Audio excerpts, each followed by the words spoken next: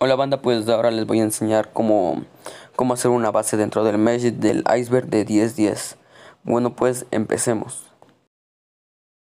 Bueno, pues gente, eh, lo que necesitaremos de materiales son eh, un cimiento de un cimiento cualquiera, puede ser de paja, piedra, madera o háganle de paja para no gastar más, igual se va de, le vamos a destrozar. Bueno, pues eh, necesitaremos ese cimiento, necesitaremos tres, tres paredes puede ser de cualquier material, tres paredes y un techo inclinado, igualmente de cualquier material. Nosotros lo estamos haciendo de paja porque no tenemos tantos materiales y acabamos de empezar y pues nos raidearon dos veces unos hackers.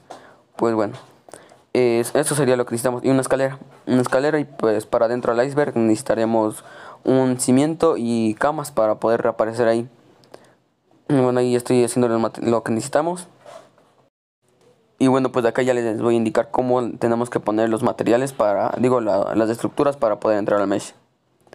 Miren, tienen que poner el, cimiento lo más pegado al iceberg, o sea, lo más, lo que más se pueda.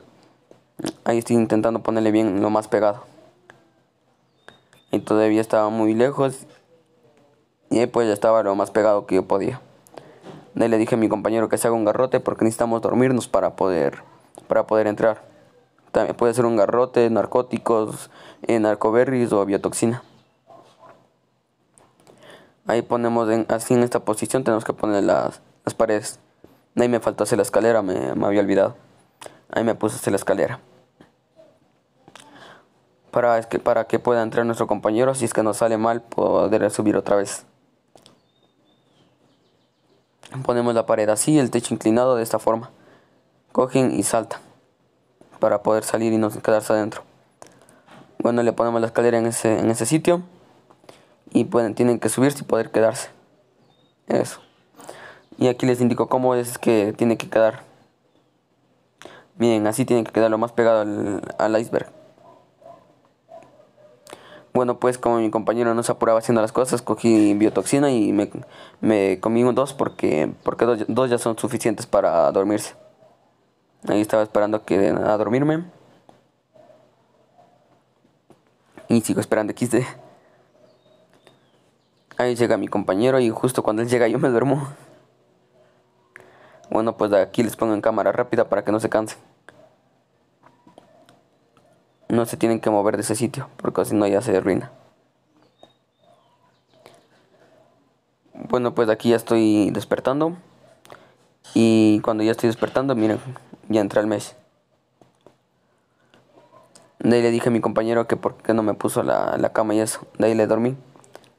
Él también se comió un par de biotoxinas y yo le dormí de un puñete como tengo bien subido el, el mele. De ahí cogí la cama, le devolví sus su armas y pues le jalé de paso ya que ya que estaba ahí. Le jalé para por si no le sale. Bueno pues voy a poner la, el cimiento y la, y la cama. Eh, no se tienen que ir muy atrás porque el propio mapa los mata. Y ya les voy a indicar hasta dónde es el límite en el siguiente video.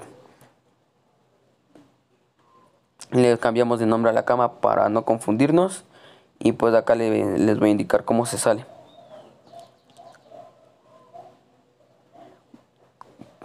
Pues así de fácil se sale.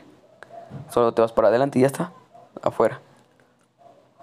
Y se entra así. Miren, miren.